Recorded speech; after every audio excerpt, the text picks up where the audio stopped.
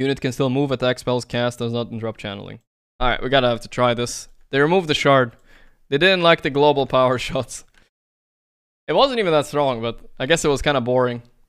Let's see what this is. Gale Force, Gale Force.